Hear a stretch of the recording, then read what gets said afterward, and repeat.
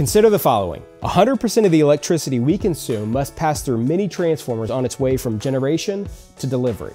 Second, many of these transformers are produced overseas. Third, global supply chain disruptions have caused big transformer shortages. And fourth, there are millions of older transformers in the US that are aging. Add all of these together, and what does that mean for power distribution in the US? Well, it means we have a big problem on our hands. The first and best way to solve this problem is to let supply and demand do its thing. But since that might take a little more time than we have, we also need to talk about reconditioning the millions of aging transformers we already have here in the States. With a little TLC, we can get them back into working order. And that's why a big focus at Maddox is reconditioning transformers, so we can get them back into the supply chain to ensure that the power stays on. The benefits of reconditioning old equipment are many. First, there's speed.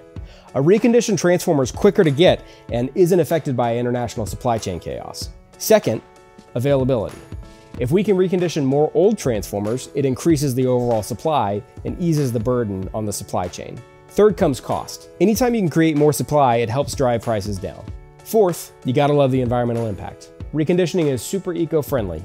It keeps equipment out of landfills. And finally, reconditioning results in like new equipment. Transformer technology lasts for many years, and reconditioning equipment has little to no downside regarding effectiveness or efficiency. So at Maddox, we're fighting the transformer shortage by reconditioning thousands of older transformers.